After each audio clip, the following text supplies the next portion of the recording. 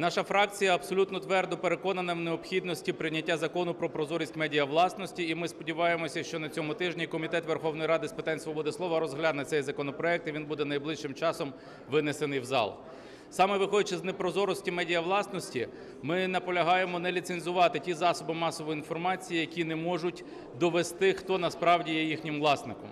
Одним з таких засобів масової інформації є телеканал Інтер.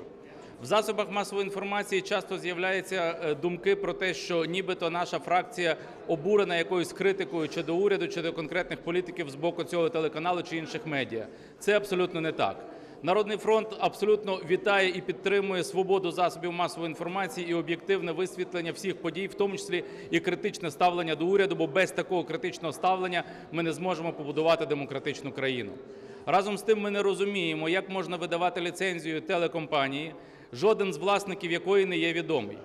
Слова шановних е, Фірташа і Льовочкіна про те, що вони нібито є власниками цього каналу, не підтверджується жодним юридичним документом. Немає жодних доказів того, що телеканал Інтер справді переоформив 29% і викупив їх у російського першого каналу. За нашу інформацію, кошти за такою транзакцією досі не надходили. За іншу інформацію, якщо такі кошти і надходили, то походження їх зрозуміти неможливо. Отже, ми абсолютно переконані, що поки в Національній раді з питань телебачення і радіомовлення не будуть переконані в тому, і українське суспільство не буде переконане в тому, що ми не видаємо ліцензію на ідеологічний відстріл українців нашим вбивцям, що ми не видаємо ліцензії російським агресорам, підтримувати таке ліцензування неможливо.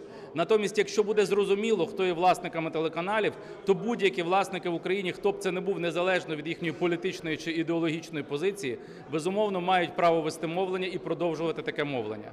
Те саме стосується інших засобів масової інформації.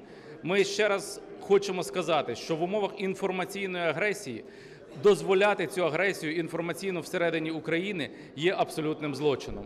Сподіваємося, що і Верховна Рада, і українські суди, і українське суспільство зрозуміє нашу позицію, яка базується на підтримці демократичних цінностей і свободи слова. Дякую.